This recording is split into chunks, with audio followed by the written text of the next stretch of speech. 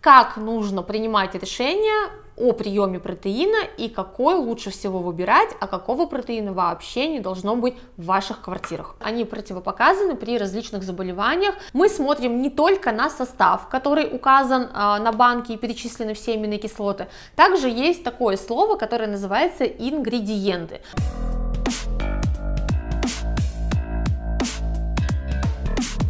Всем привет!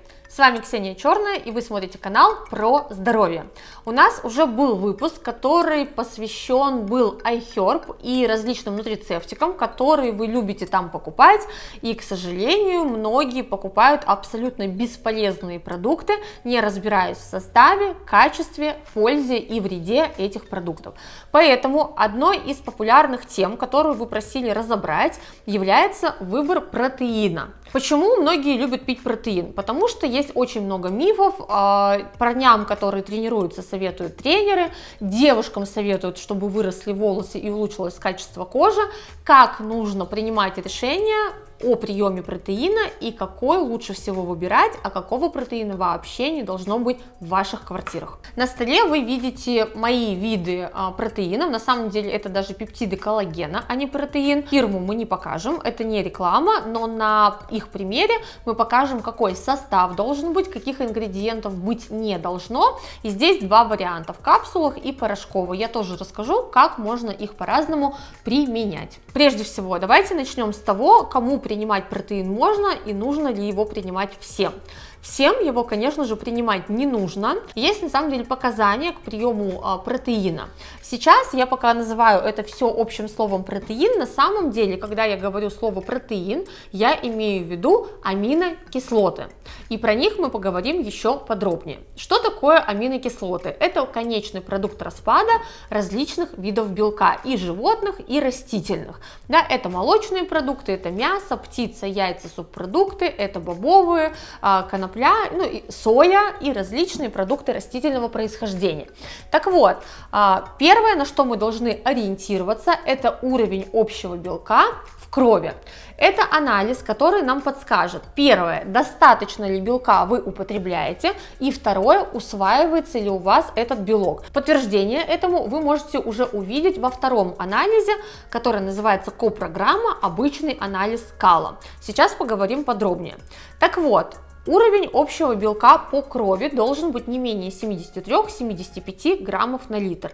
Если у вас эти показатели ниже, два вопроса, которые вы должны себе задать. Достаточно ли пищи белковой я употребляю для того, чтобы поднять уровень белка? И может быть ответ на вопрос кроется в вашем рационе, а не в приеме дополнительного протеина. Второй момент, если вы действительно в каждый прием пищи едите животный или растительный белок, а уровень уровень общего белка у вас 70, 66, 68, то задайте себе вопрос, а усваивается ли у вас белок? И это зависит от кислотности желудочного сока и от состояния слизистой кишечника, где происходит окончательное усвоение аминокислот. И здесь мы с вами идем в ко-программу, анализ кала, и смотрим такие показатели, как мышечные волокна, непереваренная пища и pH.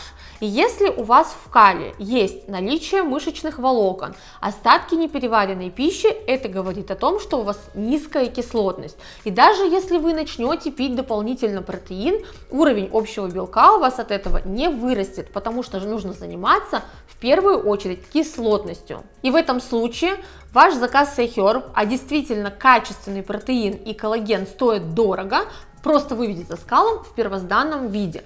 Для этого вам нужно сначала разобраться с состоянием своей системы пищеварения, со своим рационом, и только во вторую очередь идти и заказывать себе различные виды протеина и коллагена. Таким образом можно просто впустую потратить деньги, а можно потратить их с пользой, пойти на программу «Практическая нутрициология для семьи», изучить свои симптомы, изучить свою лабораторную диагностику, изучить свой рацион и уже абсолютно правильным научным способом подобрать себе необходимые нутрицептики для того, чтобы они принесли максимальную пользу вашему здоровью. Ссылка на программу «Практическая нутрициология для семьи» находится в описании к этому видео. Переходите по ссылке и присоединяйтесь. Итак, как Как выбираю протеин я? Во-первых, я выбираю не протеин, а пептиды коллагена. Что это такое? Коллаген это тот же самый протеин по сути, но слово пептиды означает, что это расщепленные аминокислоты. Усваиваются они гораздо лучше и эффективнее. Я бы вам не рекомендовала заморачиваться на разных видов типа коллагена. Вашему организму нужны все аминокислоты, а не какой-то выборочный тип. Почему я не выбираю сою и казеин? Потому что я как нутрициолог с десятилетним стажем знаю все негативные стороны сои и казеина, они противопоказаны при различных заболеваниях, когда есть проблемы с желудочно-кишечным трактом, когда есть проблемы с нарушением гормонального фона и эстроген-доминированием, когда есть проблемы с аутоиммунными заболеваниями и с низким иммунитетом. В таких случаях лучше избегать соевый и сывороточный протеин. Вы можете выбирать яичный протеин, если у вас нет аллергии на яйца. Естественно, вегетарианцам нам ничего не остается, как заказывать а, растительный протеин, но здесь вы должны понимать, что а, уровень аминокислот необходимых может отличаться. Для себя я выбираю аминокислоты, которые добываются в смеси из яиц, из рыбы, из курицы и из костей животных, которые находятся на травяном откорме. Из опыта работы с ученицами я вижу, что такой вариант аминокислот повышает уровень общего белка гораздо эффективнее, чем любой другой. Что мы должны видеть в составе и чего там быть не должно? Что должно быть в составе? Ваши виды протеина или коллагена должны содержать 19 незаменимых аминокислот. Вы их видите на картинке.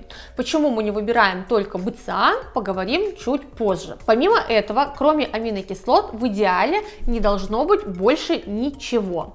Естественно, большинство спортсменов употребляют виды протеина с различными сахарозаменителями, усилителями вкуса, особенно такими ужасными, как сахарин, сукралоза, различными сахарозаменителями, например, мальтодекстрин. А видео про негативное влияние сахаров и тем более сахарозаменители вы уже могли посмотреть на нашем YouTube канале. Если вы этого не сделали, то ссылка находится в описании к этому видео.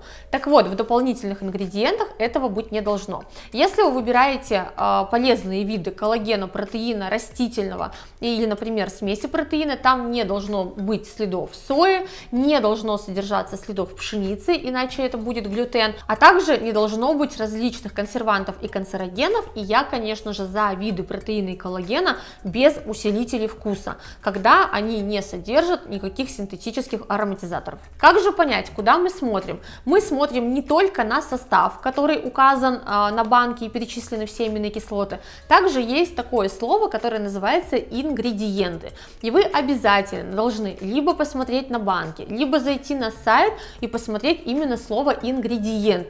Конкретно а, вот на этом протеине вообще нет такого слова, потому что кроме аминокислот здесь нет ничего. Это порошковый вид пептидов коллагена.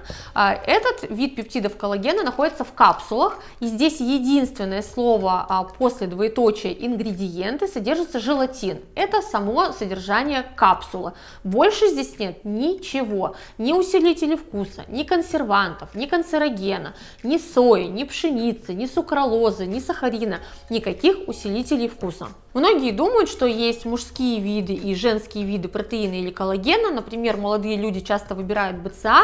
К БЦА у меня особое отношение. Я очень подробно изучала эту тему. И, к большому сожалению, постоянное употребление БЦА приводит к негативным последствиям. Почему? Потому что эти аминокислоты, валин, изолицин, лицин, приводят к активации э, такого механизма, который называется МТОР. МТОР механизм это комплекс в нашем организме, организме, который усиливает протекание различных биохимических реакций в нашем организме. Активация МТОР комплекса имеет огромное количество негативных последствий, начиная с повышения уровня невротичности, увеличения уровня стресса, ухудшения сна, проявления аллергических реакций, аутоиммунных реакций, депрессивного состояния. И это все негативное влияние употребления БЦА на постоянной основе. Поэтому, если вы действительно думаете, что вам необходимы необходимы эти аминокислоты и вас никак не разубедить, то я вам предлагаю сдать анализ мочи на аминокислоты. Это единственный достоверный анализ, да, он не очень дешевый, но тем не менее, который покажет истинный уровень аминокислот в вашем организме. И если вы будете постоянно принимать БЦА и не будете принимать другие аминокислоты, у вас будет полнейший дисбаланс, что отразится на работе вашей печени в том числе. А очень часто я видел то, что, ну, вот кто занимается спортом на профессиональной основе, они э, все лысые и с прыщами. Это, это... зависит и от аминокислот, потому что конкретно БЦА э, увеличивают рост инсулина в крови, а уровень инсулина влияет на рост тестостерона, соответственно, андрогенных гормонов, это может проявляться в виде высыпаний. Кроме этого, если вы берете БЦА или любой протеин э, с сахарозаменителями и усилителями вкуса, то это влияет на состояние вашей микрофлоры, состояние вашего кишечника, избыточного грибкового роста, что также может проявляться различными высыпаниями, аллергическими реакциями и проблемами с кожей. А сейчас очень важная информация, особенно это касается девушек, которые пьют коллаген для качества кожи, для качества волос.